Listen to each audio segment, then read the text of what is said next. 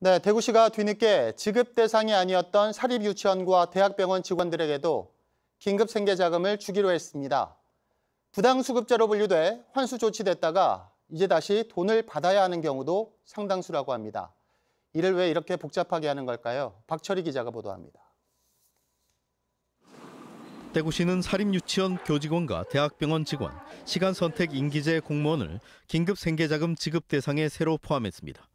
당초 이들은 사학연금과 공무원연금에 가입됐다는 이유로 지급 대상에서 빠졌는데 사립유치원은 휴업 등으로 임금이 깎인 경우가 많고 나머지는 사실상 교직원과 정규직 공무원으로 보기 힘들다는 겁니다. 이미 신청에 돈을 받은 1,300여 명은 환수하지 않고 신청을 안 한 대상자까지 찾아서 주기로 했습니다. 민간 위원들이 참여하는 코로나19 서민생계지원위원회의 권고에 따른 겁니다. 선의로 시의 결정에 따른 분들이거든요. 그분들이 피해를 봐서는 안 되겠다고 생각하기 때문에 기회를 주는 것이 에, 마땅하다고 생각을 하였습니다. 현재 대구의 사립유치원 사학연금 가입자는 2,300명, 대학병원은 9,300명에 이르고 시간 선택제 공무원까지 합치면 12,000명을 넘을 것으로 추산됩니다.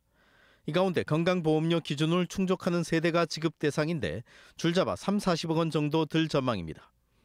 대구시는 기존 예산이 200억 원 이상 남아 있어 문제가 없다며 사립유치원연합회와 병원 측의 협조를 구해 조만간 신청을 받겠다고 밝혔습니다. 하지만 소득 검증을 어떻게 할지 5월 이후 연금 가입이나 세대 원수 변경은 어떻게 처리할지 등 남은 과제가 많습니다.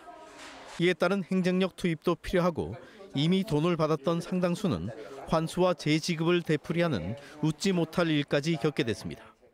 전체적으로 이 문제 형평성 문제를 어떻게 풀어갈 것인가를 처음부터 고민했어야 되는 건데 지금 결과를 보고 찔끔찔끔 땜질식으로 이 형평성 문제를 해결하려고 하니까 설익은 선별 지원으로 첫 단추를 잘못 깬 후유증이 여전히 이어지고 있습니다.